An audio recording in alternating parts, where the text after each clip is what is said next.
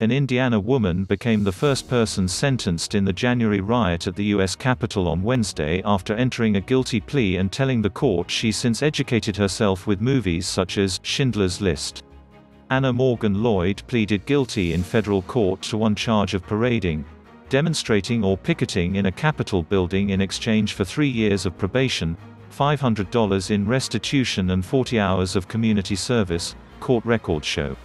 The court prohibited Morgan Lloyd from buying a firearm under the terms of her probation. U.S. District Judge Royce Lamberth delivered the 49-year-old Bloomfield woman her sentence on Wednesday afternoon in a teleconference hearing. I have really struggled with what would be an appropriate sentence, Lamberth said. The judge of 33 years said he feels troubled by the accounts of some members of Congress who compare the insurrection to a day of tourists walking through the Capitol. This wasn't a peaceful demonstration. It was not an accident that it turned violent, he said. I also think, some of these defendants in these cases are not gonna do what you did. Some of them are not gonna say they did anything wrong. Federal prosecutors in Morgan Lloyd's case supported the deal that avoided time in prison, records show, citing how the 49-year-old has no criminal history and showed remorse for her actions.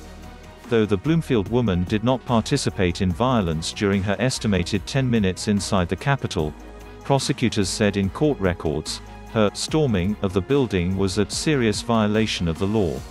To be clear, what the defendant initially described as the most exciting day of her life was, in fact, a tragic day for our nation, a day of riotous violence, collective destruction, and criminal conduct by a frenzied and lawless mob, acting U.S. Attorney Channing Phillips wrote. In her plea, Morgan Lloyd wrote she's ashamed of her participation in the rally turned riot, adding that she's learned from her actions using movies and books recommended by her attorney, attaching plot summaries of Schindler's List and Just Mercy as evidence. I've learned that even though we live in a wonderful country things still need to improve, Morgan Lloyd wrote.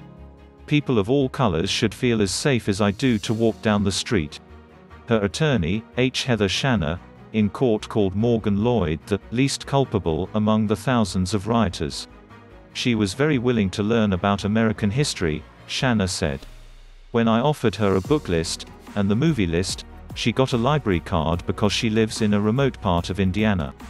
Morgan Lloyd traveled to D.C. that day with her friend Dona Sue Bissey, 52, also from Bloomfield. The two women called the riot the best day of their lives in Facebook comments and photos, often tagging each other.